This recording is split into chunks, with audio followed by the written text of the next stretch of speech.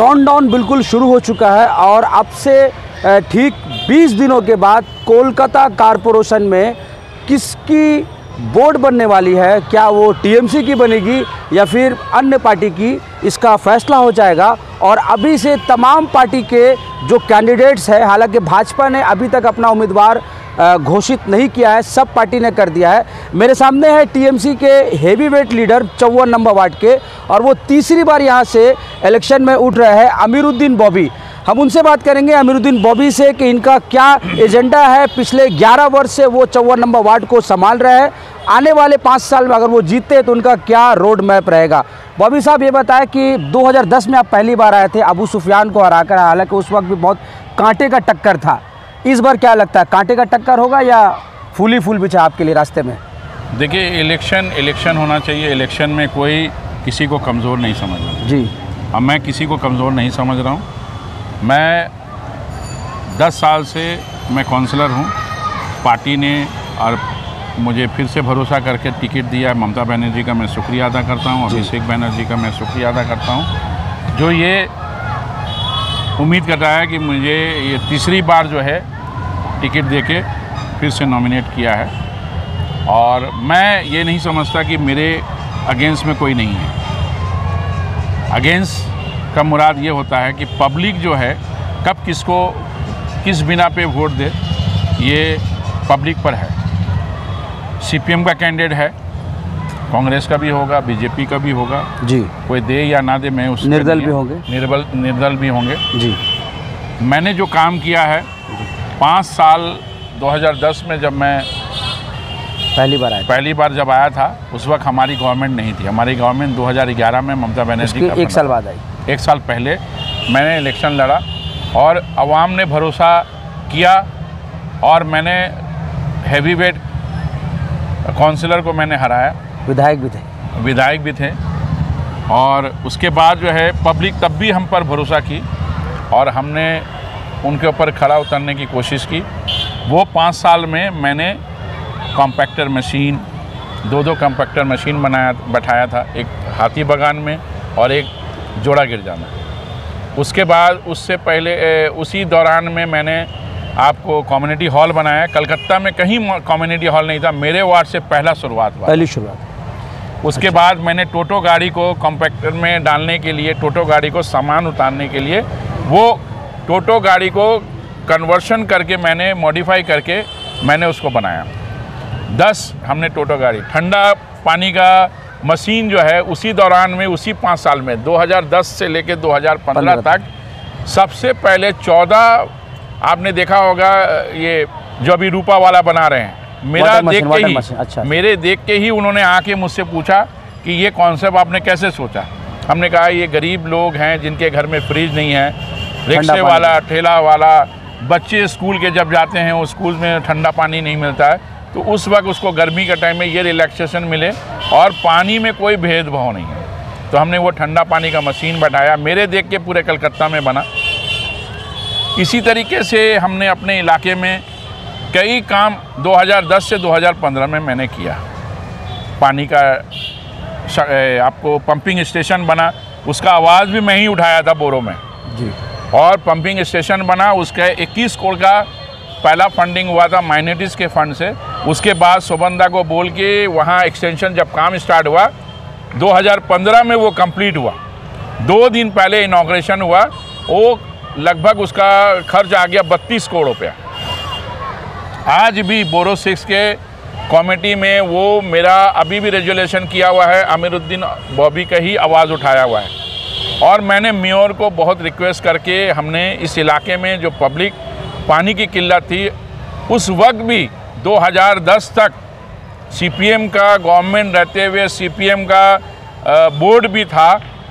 पानी ये हाथी बगान ये सामने देखेगा आज भी ये पंपिंग स्टेशन मौजूद है। ये पंपिंग स्टेशन खारा पानी का पंपिंग स्टेशन था। कि आप सोच सकते हैं। कलकत्ता? हाँ दरिया कल का बोरिंग का पानी जो है लोगों को जाता था और उसी से कपड़ा और ये वो पिलाया जाता था फ़िल्टर करके। मेरे आने के बाद ये पंपिंग स्टेशन बना इस इलाके में। हमने इस तरह का जितनी भी बोरिंग थी हमने बंद करवाया। हाथी बगान ए, पान बगान में बोरिंग पंपिंग स्टेशन था उसको बंद करवाया। सब जगह में मीठा पानी का व्यवस्था किया। तो लोगों को क्या चाहिए? अमन सुकून शांति और कॉरपोरेशन का रास्ता लाइट पानी बाथरूम बाथरूम का दरवाज़ा स्कूल वगैरह का क्या काम मैं आ रहा हूँ मैं आ रहा हूँ। 2010 शिक्षा के क्षेत्र में क्या काम है? 2010 से 2015 में मेरा ये ये काम रहा। जी। उसके बाद 2015 में पार्टी ने फिर नॉमिनेट किया मुझको। मैं उसका बाद फिर से आया। उस वक्त मैंने वादा किया था 2015 में कि मैं पाँच साल में पाँच स्कूल बनाऊँगा। जी हमको याद है। उसके बाद ये मैंने बोला था कि पाँच साल में पाँच स्कूल बनाएँगे। हमने अपने वार्ड को पहले पाँच साल में जो कमी थी कॉरपोरेशन की उस कमी को हमने दूर कमी। किया। उसके बाद मैंने डेवलप का काम में मेरा माइंड गया कि डेवलप में काम करेंगे। तो पाँच साल में मैंने आप देखा होगा अंजुमन 31 नंबर मुफीद इस्लाम लाइन 16 नंबर हाथी बगान अंजुमन की जगह है। मुफीद इस्लाम लाइन कंप्लीट हो चुका है। हाथी बगान में काम ऑलरेडी बहुत प्रोसेस में है। उसके बाद साउथ तोपसिया में 10 कट्ठा ज़मीन थी। उसको बाउंड्री वॉल कराया। वो वहाँ पे गोरू बिकता था। और कॉरपोरेशन का गाड़ी रहता था। चमड़ा वहाँ पर सुखाते थे। लोग कब्जा करके बैठे थे। उसके बाद मैंने वहाँ पे बाउंड्री करवाया। अपना 440 मीटर लाया अंजुमन के नाम से। उसके बाद टीन का शेड डाला। उसके बाद पेपर ब्लॉक बैठाया ज़मीन को अपडेट किया बाथरूम बनाया कब्जा में लिया मैंने। और उसमें अब मॉन्टेसरी स्कूल चालू होने जा रहा है जो कि पैंडमिक की वजह से स्कूल बंद है प्राइमरी सेक्शन नहीं चालू हो पा रहा है मगर वो हमारा इंफ्रास्ट्रक्चर रेडी है स्कूल के लिए। हाथी बगान 16 नंबर टेनेंट का केस चल रहा था। अंजुमन में इससे पहले भी कई लोग रह चुके हैं उन्होंने ये अ, सोचा नहीं। हमने वो खाली करा के प्लान सेंशन कराया जी प्लस फोर का प्लान मिला है और वो तामीर हो गया जी प्लस टू का कंप्लीट हो गया टेनेंट को शिफ्टिंग मिलने वाला है। तीन स्कूल चौथा स्कूल आप देख लीजिए, ये सामने में है, सर सैयद अहमद के नाम से ये प्राइमरी सेक्शन है। इसमें 470 बच्चे हैं। अभी 470 बच्चे हैं, हमारे पास जगह नहीं है। उसके बाद ये चौथा हो गया। पाँचवा स्कूल जो है 39 by one sir Syed Ahmed road. वो के की ज़मीन थी उसके पीछे में ये स्कूल बन रहा है। लोगों को कंफ्यूज है कि के को बार बार क्यों कुछ रिनोवेट लोग कुछ लोग बोल रहे हैं कि आपने दोबारा से शिलान्यास करवाया। देखिए- पहले हो चुका था। शिलान्यास हुआ था 2020 में। अच्छा बीस में। 2020 में के की ज़मीन इंटैक्ट वैसी पड़ी है। के के बगल वाली ज़मीन को हमने खरीद कर उसमें जो है प्लान सेंशन कर कर उसको इंग्लिश मीडियम सर सैयद के नाम से बना रहा हूँ। मैं आपको दिमाग जहन में डालना चाहता हूँ जो लोग गुमराह कर रहे हैं पॉलिटिक्स के चक्कर में वो मैं उसको क्लियर कर रहा हूँ के की ज़मीन सात कट्ठा साढ़े सात कट्ठा जगह इंटैक्ट आज भी वैसी है। 2010 से पहले इलेक्शन से पहले सीपीएम के यहाँ काउंसलर और नेता ने शिलान्यास किया था। वो सही कह रहे हैं। सिर्फ़ वोट लेने के चक्कर में कि दोबारा 2010 में अमीरुद्दीन बॉबी नहीं आया जो सीपीएम के कैंडिडेट वो जीत के आए। वो उन्होंने पॉलिटिक्स किया था, मैं पॉलिटिक्स नहीं किया। 2010 से पहले जो है, इलेक्शन का एक हफ़्ता पहले शिलान्यास हुआ था लोगों को बेवकूफ़ बनाने के लिए। उसमें कोई काम नहीं हुआ था, ना कोई रेस्टी हुआ था, ना कोई सेंशन हुआ था। मैं चैलेंज होके बोल रहा हूँ, यदि उनके पास हुआ हुआ है तो मुझे कागज़ ला के दिखाएँ और अब आवाम को दिखाएँ। उसमें क्या हुआ था 84 लाख रुपीस एजुकेशन डिपार्टमेंट ने के ज़मीन के डिपार्टमेंट को पैसा दिया था कि ये ज़मीन को स्कूल बनाया जाए। बस इतने ही रुपया ट्रांजेक्शन हुआ, उसी में शिलान्यास कर दिया गया। इलीगली उसमें इनाग्रेशन किया गया वोट टानने के लिए। मैंने वो ज़मीन को अभी तक इंटैक, अभी तक कुछ नहीं किया। उसके पीछे वाले ज़मीन, उसके बगल वाले ज़मीन को साढ़े छः कट्टा ज़मीन है। उसमें मैंने प्लान सेंशन कराया, वहाँ सेकेंडरी स्कूल हमारा तामीर हो रहा है उसका शिलान्यास ये हुआ है? ये लोगों को कन्फ्यूज़ है। और मैं गवर्नमेंट से कहूँगा कि ये साढ़े सात कट्ठा ज़मीन है, इसको आप इस इस, ये part of the sir Syed school कर दिया जाए। ना वहाँ पर ही कोई अनाउंस किया था कि सर सैद स्कूल बने, ना, वो गवर्नमेंट की जगह है। गवर्नमेंट अपने तरीके से स्कूल बनाएगी, अपना नुमाइंदा, अपने टीचर रखेगा। अब वो बंगाली मीडियम होगा इंग्लिश मीडियम होगा उर्दू मीडियम होगा, ये किसी का इख्तियार नहीं है।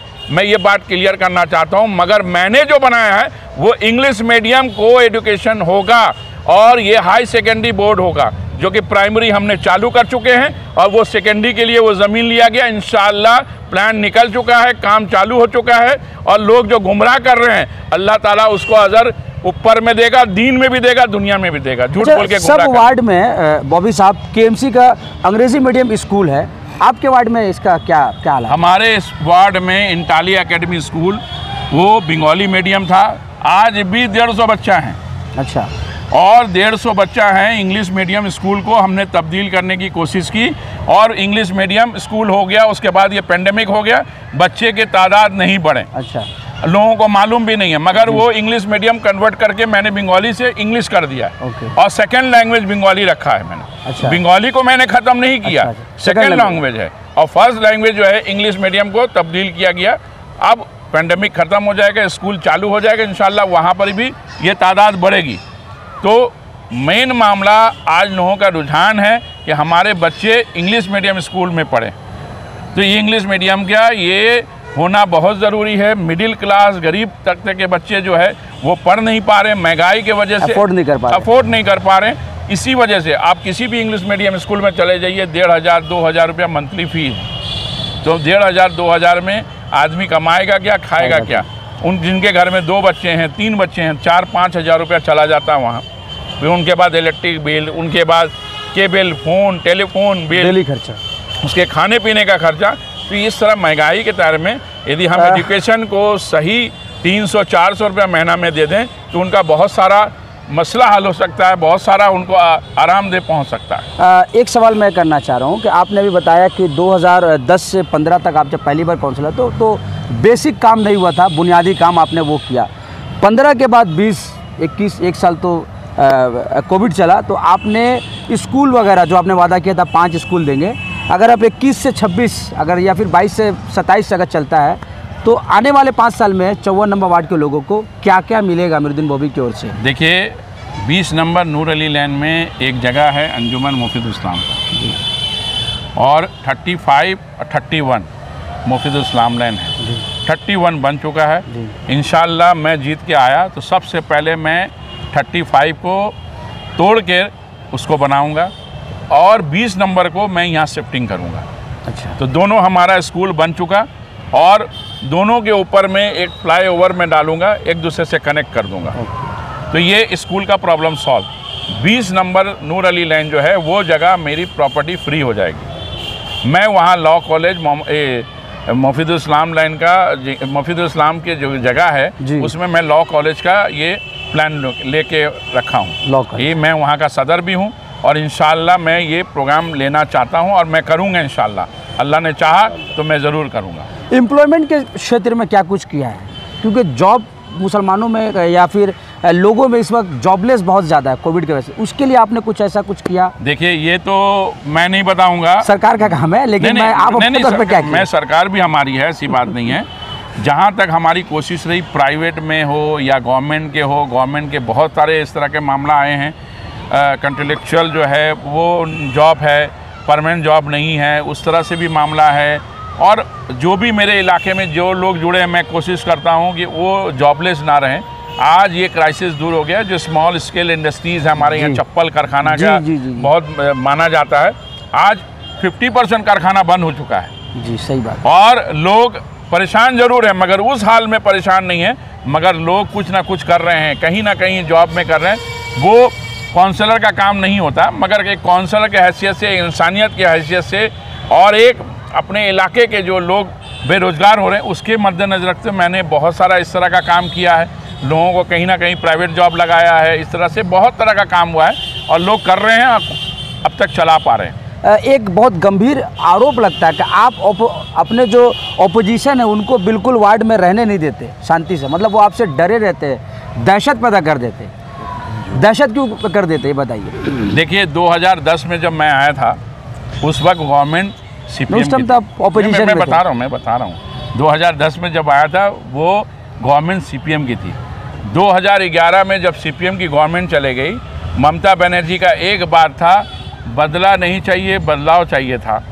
और उन्होंने अमन शांति का पैगाम पहुँचाया था और चौवन नंबर वार्ड में ये लाल किला के पहचान से जाना जाता जी, है। जी, यहीं से सारा वामपंथी जो है बहुत बड़े बड़े नेता यहाँ से निकले निकले बिल्कुल बिल्कुल। और थे। मगर एक आदमी ये 11 साल में एक आदमी पार्टी मेंबर ने एक तप्पड़ खाने नहीं दिया मैंने। नहीं तो कितना खून खराबा होता। मैं रात एक एक बजे रात तक सीपीएम वाले को मैंने बचाया। इसलिए कि 2010 में जब मैं आया था किसी के माथे पे नहीं लिखा था ये सीपीएम को वोट दिया है या कांग्रेस ने वोट दिया है या टीएमसी ने वोट दिया है। वो इंसानियत के नाते में वोट हुआ और जो लोगों को, जो यहाँ के काउंसलर थे, उनको हराकर मुझको भरोसा करके वोट दिया। तो यही लोग वोट देते थे सीपीएम को, यही लोग वोट दिए ममता बनर्जी को, अमीरुद्दीन बॉबी को। तो मेरा ये फ़र्ज़ बनता है उसका निगरानी करना, उसका घर टूटना नहीं चाहिए, उनको प्रॉब्लम नहीं होना चाहिए। ये ना उसको मार खाना चाहिए, ये सीपीएम के दौर में रहा है कि घर टूटता था और दो दो महीना तक वो घर से बाहर आता था। मैंने कभी ये अपने चौवन नंबर वार्ड में ये होने नहीं दिया। इलेक्शन के दिन ये भी आरोप लगता है कि आप जो ऑपोजिशन के लोग को एकदम कैसे वोट होगा बिल्कुल उनको जरा सा भी परमिट नहीं करते पूरा कैप्चर कर लेते हैं अब। इस तरह का बात आप, आप जाइए जाके देखिए इलेक्शन में मैंने 2010 से 2011, 2014, 2015, 2016, 2019, 2021 मैंने छह इलेक्शन लड़ा है 11 साल में। एक भी आदमी ऐसा नहीं हो कि जो पार्ट में नहीं बैठा हो। छह बार आपकी पार्टी जीती है। जीती नहीं है। हाँ। ह्यूज वोट ह्यूज जीती है। तो उसका इसका कारण ये बताया जा रहा है कि आप ऑपोजिशन को इतना डरा धमका देते हैं उनके लड़के उनके वर्कर डर से कैंप में नहीं वो तो मेरा मोहब्बत है कि वो लोग जो है अपनी पार्टी छोड़कर मेरे पार्टी में आ रहे हैं और जाके मैं इखलाक और मोहब्बत में मुझे बोलना ना पड़े। ये इस्लामिक तरीका है जो मैं इसको यूज़ करता हूँ। और लोग नरम होके इस चीज़ को मानते हैं और मेरे इखलाक को ये बुलंद करते हैं। मैं उनका शुक्रिया अदा करता हूँ। जो लोग सीपीएम को नापसंद कर रहे हैं और अपने पार्टी को छोड़ के जो चौंतीस साल की हुकूमत थी, वो उनको छोड़कर अमीरुद्दीन बॉबी और ममता बनर्जी के क्षेत्र में आके वो सुरक्षित महसूस करते हैं।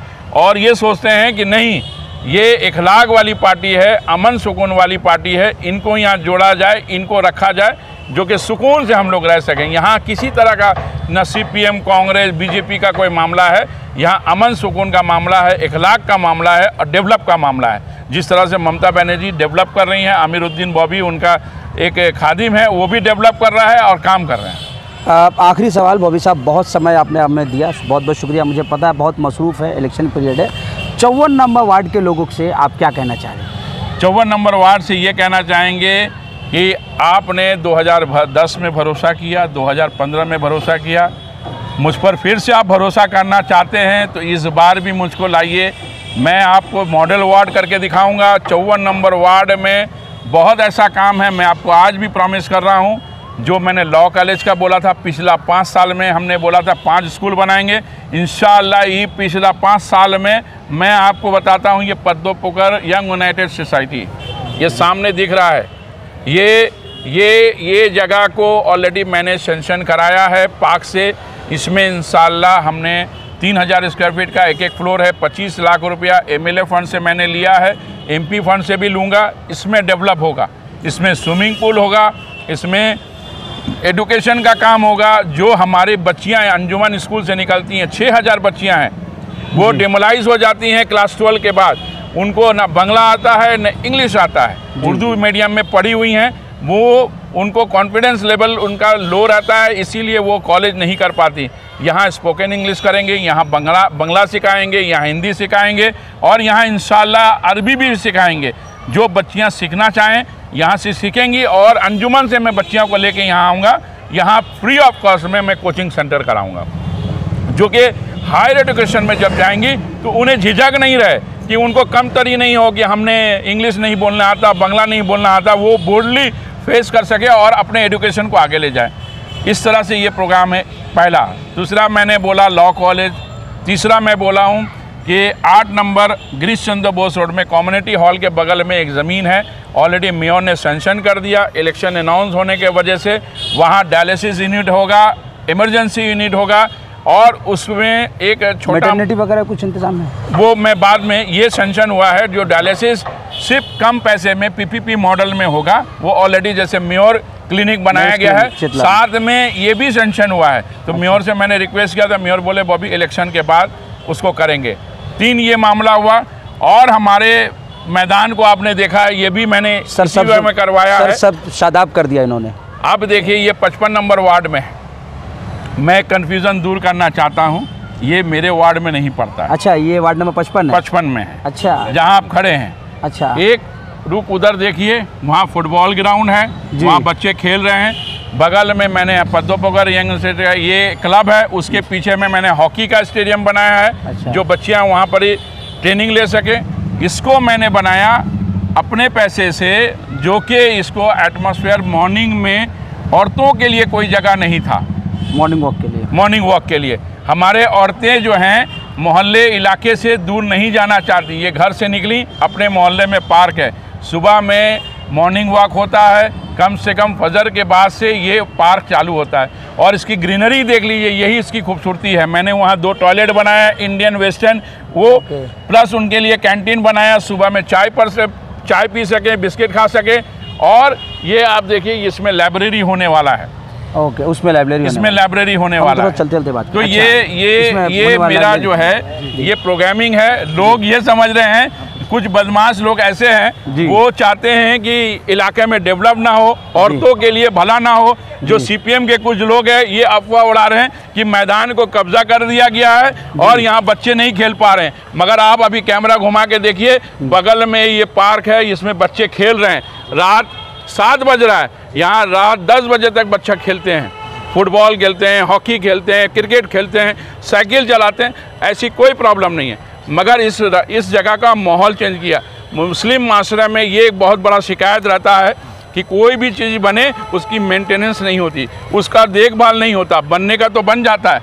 मगर आज देख लीजिए दो साल हो गया ये पार्क को मैंने सजा के रखा है। यहाँ ओल्ड एज के लिए बैठने के लिए मैंने बनाया है। अच्छा। सीनियर सिटीजन बुजुर्ग- बुज़ुर्ग लोगों। लोग। जी ये भी खुलता है यहाँ पर भी लोग बैठते हैं। जी। तो ये इस तरह से है यहाँ जिम भी होता है लेडीज़ के लिए जिम चालू करने वाले हैं। अच्छा।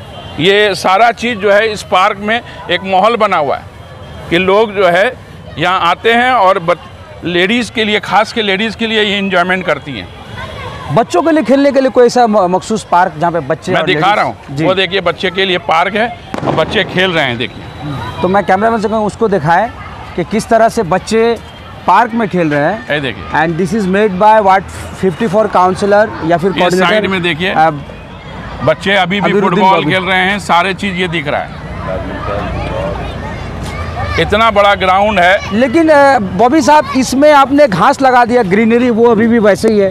नॉर्मल तो उसके उससे क्या घास घास बच्चे जब खेलेंगे घास नहीं रह पाएगा। ओके ये दिन भर में ये समझ लीजिए 12 घंटा ये पार्क खुला रहता है। अच्छा। हमारे वार्ड में ओपन टू ऑल हमारे वार्ड में एक भी पार्क नहीं है। अच्छा। ये पचपन का पार्क है मगर स्पीसुदा का मैं शुक्रगुजार हूँ। हाँ। तो उन्होंने जो है ये ये पार्क को बनाने का परमिशन दिया और इसके एक अच्छा माहौल में हमारे दो तरफ़ ये दोनों काम हो रहा है और इसमें लोगों को गुमराह करने की जो कोशिश है वो गुमराह मत होइए।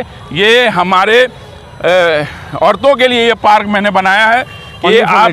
हाँ ओनली फॉर लेडीज़ सुबह में मॉर्निंग वॉक होता है और कोई प्रोग्राम होता है तो यहाँ पर ही हम लोग शाम को फिर क्यों नहीं देते? सुबह देते तो शाम शाम में पानी देना पड़ता है घास अपडेट रखने के लिए पेड़ पौधा में। इसी वजह से शाम में नहीं चालू किए। अच्छा अच्छा। मुझे रिक्वायरमेंट होगा तो मैं अगर शाम में लोग अगर आपसे अपील करेंगे अप्रोच करेंगे तो हाँ, तो मैं शाम में क्योंकि चालू बहुत सारे लोग सुबह टाइम नहीं रहता शाम को औरतें जो है सुबह ही में ज़्यादा प्रीफर करती हैं। मैंने बीच में एक लिखा था यहाँ पे।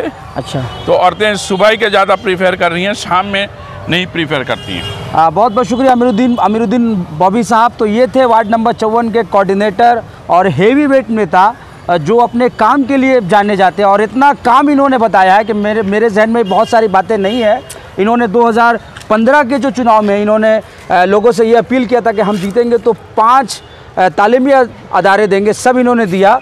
2021 में अगर ये जीतते हैं तो लॉ कॉलेज देंगे डायलिसिस सेंटर देंगे मेयर्स जो होता है जो अ, मेडिकल सेंटर उस टाइप का बहुत सारा ये इन्होंने काउंसलर क्लिनिक। कई वादों का पटारा इन्होंने खोल दिया है अब देखना है कि 19 तारीख को इनकी बातों पर यहाँ के लोग अ, कितना भरोसा करते हैं कितना जिताते हैं कितना इन पर विश्वास करते हैं और ये जीत जाते हैं तो ये काम किस तरह से करते हैं, इस पर भी हमारे निगाह रहेंगी। बने रहे हालात बंगाल लुस्टक इंडिया के साथ, हम फिर मिलेंगे फिर किसी वार्ड में, किसी